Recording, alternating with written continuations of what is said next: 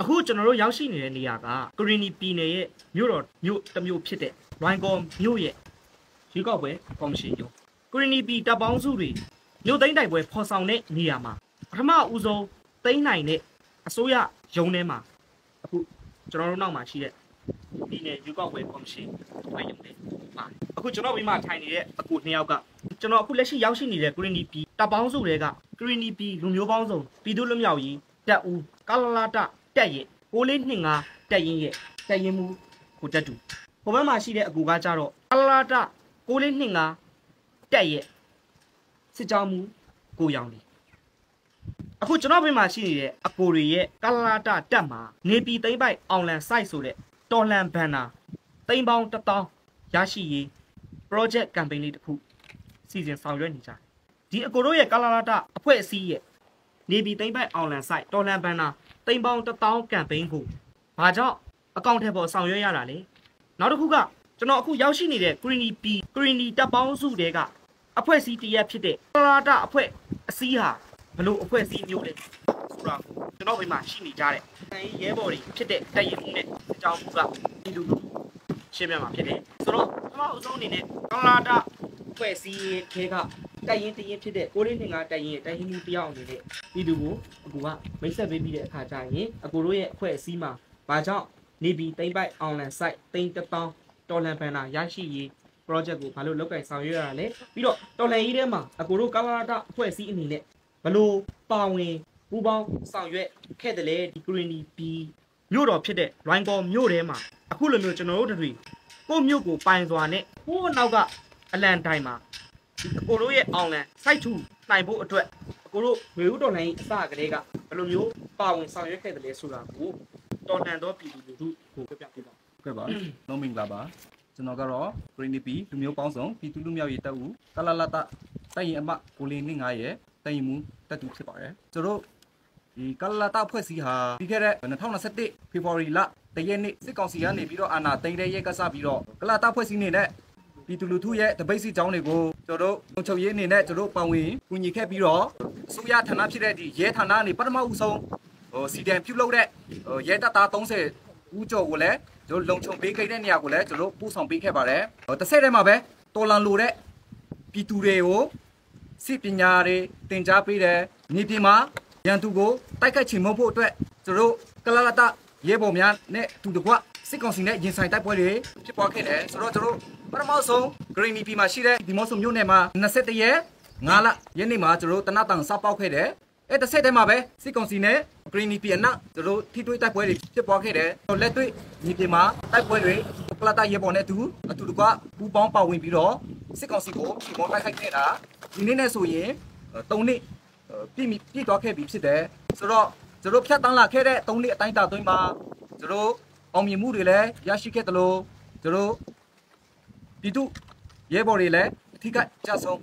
ပြည်သူလူထုရဲ့အိုးအိမ်စီးစိမ်တွေလည်းအမြောက်များပျက်စီးဆုံးရှုံးခဲ့ရတယ်ကျွန်တော်နောက်ဆုံးအနေနဲ့ဒီအခုလက်ရှိဟိုတိတ်လေးလုံး operation ဆိုတဲ့အမိနဲ့ကျွန်တော်မြို့သိမ်းတိုက်ပွဲကိုကျွန်တော် Green ဟိုတော်လိုင်းရေးတပ်ပေါင်းစုနဲ့အတူ2023နိုဝင်ဘာလ 17ရက်နေ့မှစတင်ပြီးတော့စစ်ကောင်စီရဲ့အခြေကုပ်တဲ့စခန်းတွေရှစ်ခုနှစ်အတူစစ်တုပ်ပန်းတွေလက်နဲ့ခေရန်အမြောက်များကိုလည်းကျွန်တော်တင်စီရရှိခဲ့တယ်။တစ်ဆက်တည်းမှာပဲ2023နိုဝင်ဘာလ12ရက်နေ့မှာအခုလက်ရှိကျွန်တော်ရောက်ရှိနေတဲ့ရွေးကောက်ပွဲကော်မရှင်ရုံးကိုအောင်မြင်စွာချီမုံတင်ပိုင်နိုင်ခဲ့ပြီးကလလာတရဲ့အဖွဲ့အစည်းအလံကိုလည်းအောင်မြင်စွာကျွန်တော်လွှင့်ထူနိုင်ခဲ့ပါတယ်။ Greeny ပြည်မှာရှိတဲ့ရန်သူအခြေကုပ်ထားတဲ့တပ်စခန်းတွေဖြစ်တဲ့လွိုင်ကော်တက်ကတူစက်မှုကျောင်းပြီးတော့လက်စီယုံ မြို့နယ်ရဲစခန်းပြည်နယ်ရဲယုံပြီးတော့ကျွန်တော်ခရိုင်ထွေအုပ်ယုံအစရှိတဲ့အခြေကုပ်ထားတဲ့တပ်စခန်းတွေကိုကျွန်တော် Greeny တပ်ပေါင်းစုနဲ့အတူအောင်မြင်စွာဝင်ရောက်ချီမုံတင်ပိုက်နိုင်ခဲ့ပါတယ်ဆိုတော့ကျွန်တော်တိလီလုံး operation အတွင်းမှာကျွန်တော်အောင်မြင်စွာဝင်ရောက်ချီမုံခဲ့တော်လဲကျွန်တော်ပြည်သူတော်လိုင်းရေးတပ်ဘဲမှာအထိခိုက်ကြဆုံးမြောက်များရှိခဲ့တယ်ပြီးတော့ကျွန်တော်လက်နဲ့ခဲရန်တွေလည်းအမြောက်များကျွန်တော်အသုံးပြုခဲ့ရပါတယ်ဆိုတော့ကျွန်တော်က Green EP အတွင်းမှာရှိတဲ့ကြံရှိနေတဲ့စီကောင်စီရဲ့အခြေကုပ်စခန်းတွေနဲ့ တိုက်ရေးဌာနချုပ်တွေကိုကျွန်တော်ဆက်လက်ပြီးတော့ဝေရောက်ချင်မုံနိုင်ကျွန်တော်လိုအပ်တဲ့လက်နဲ့တွေခဲရန်တွေအချိန်မီအချိန်နဲ့တပြေးညီကျွန်တော်ဖြစ်ဆွဲနိုင်ဖို့လိုအပ်တဲ့အတွက်ကြောင့်မို့ဒီနေပြည်သိမ့်ပိုက်အောင်လန် site ဆိုတဲ့တိန်တတောင်း project ကိုကျွန်တော်တို့ပြုလုပ်ရခြင်းဖြစ်တယ်ဆိုတော့ကျွန်တော်တို့နေပြည်တိန်ပိုက်အောင်လန် site တိန်တောင်း project တာပြည်မိခဲ့ရင်ကျွန်တော်တို့ဘယ်လိုလက်နက်မျိုးတွေဝယ်ယူတတ်ဆင်မလဲဆိုတော့ကျွန်တော်ဘေးမှာရှိနေတဲ့ကျွန်တော်တို့စစ်ကြောင်းမှုရောင်နေလက်ပြီးတော့ရှင်းပြပေးပါကဲမင်္ဂလာပါကျွန်တော်ကတော့ပင်နီပြည်လူမျိုးပေါင်းစုံသူလူမျိုးရဲ့တက်ဦးကလာတာ မကိုလေးနေငါတရင်ရဲ့ခြေတန်းစစ်ကြောင်းမှုရောင်နေဖြစ်ပါတယ်ကိုလက်ရှိကျွန်တော်တို့ project ရဲ့တင်တောင်ပြီးမိခဲမယ်ဆိုရင်ကျွန်တော်တို့နေပြည်မှာအဓိကရင်ဆိုင်နေရတဲ့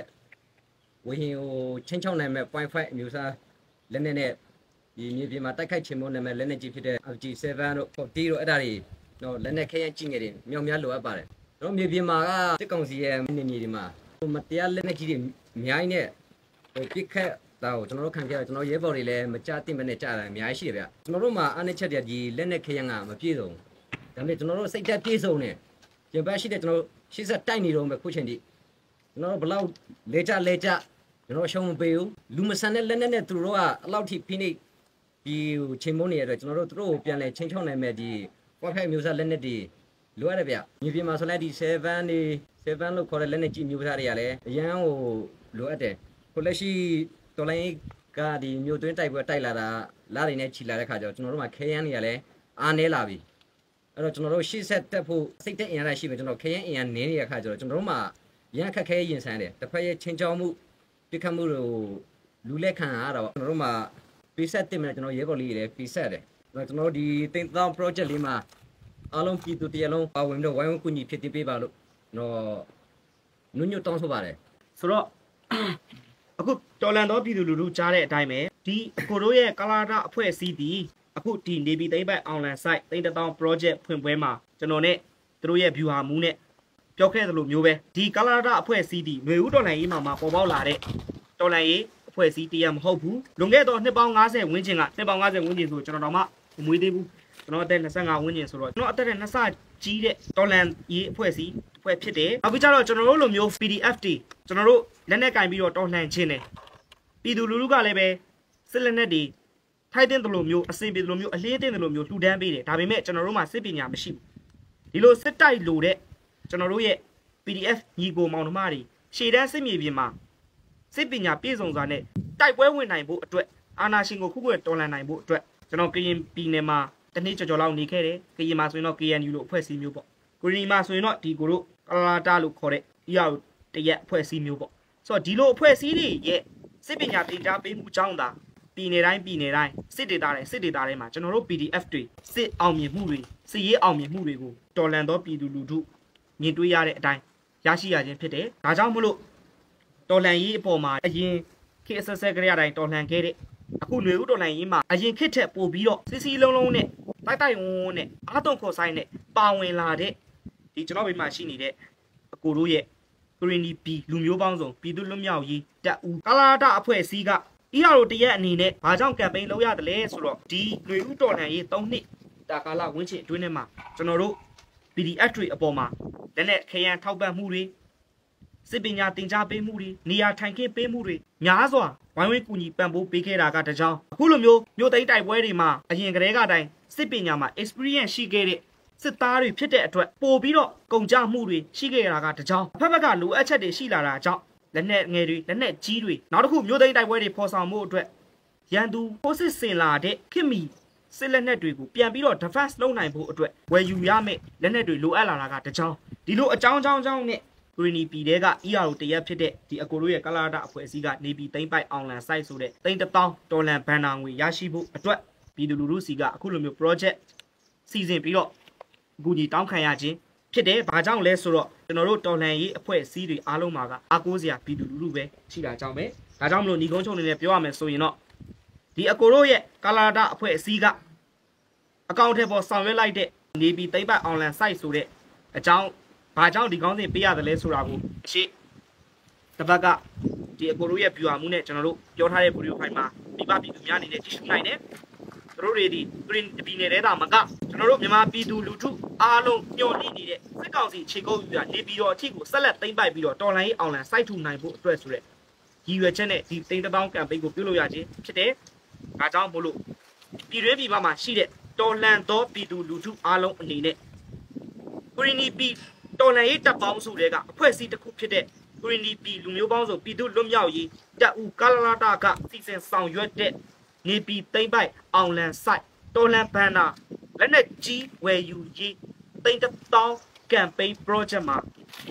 အားလုံးဝိုင်းဝန်းကူညီပါဝင်ပေးကြပါလို့ကျွန်တော်လေးလေးနက်နက်မေတ္တာရက်ခံချင်ပါတယ်ကျွန်တော်ပြောချင်တာတော့ဒါပဲ